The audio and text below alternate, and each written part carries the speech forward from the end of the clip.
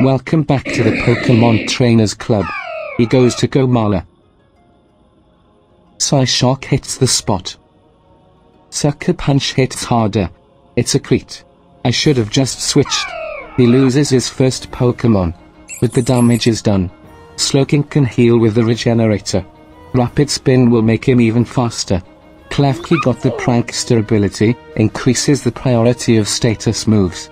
But it ended up charging the Pikachu's Lightning Rod. Sylveon has a better special defense. But let's see what he got. So he can use Volt Tackle a physical move that my Sylveon is not good against.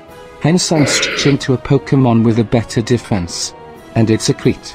That does 86% damage. Body Slam paralyzes it. It couldn't move. Slowking needs more time to heal. Klefki resists the brave bird.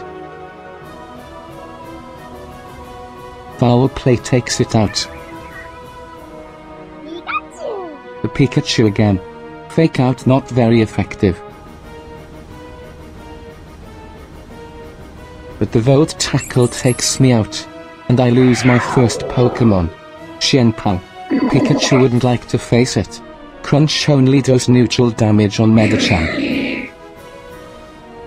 Poison Jab hit really really hard. It must be having a choice band. I lose my king. Throat chop couldn't take it out. Acrobatics does the job. It's now a 3 on 3 battle. Breloom is a Pyrockno. Rock Tomb hit and breaks my substitute. Strength sap just to lower its attack. The rock lowered my speed a little. It chose Bullet Seed. Three times wasn't enough. Jumpluff stays alive with one health. Its attack is lowered even more. Rock Tomb again. And it's still alive. The speed goes down even more. Can use the Leech Seed on a rock. Doesn't want me to heal so he switches.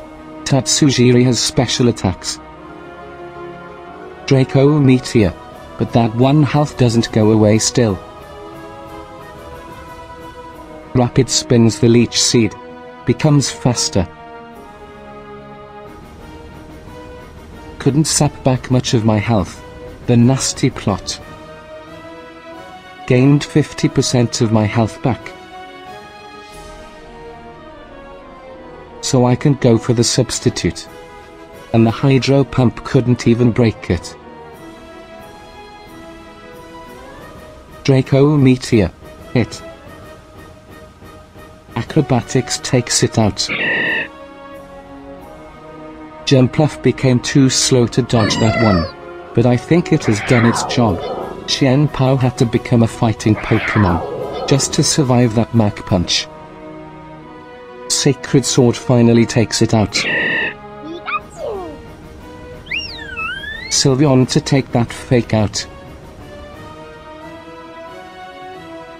Volt Tackle also gives it the recoil damage. Chien-Pao outspeeds Pikachu. And it don't have the defenses to live that.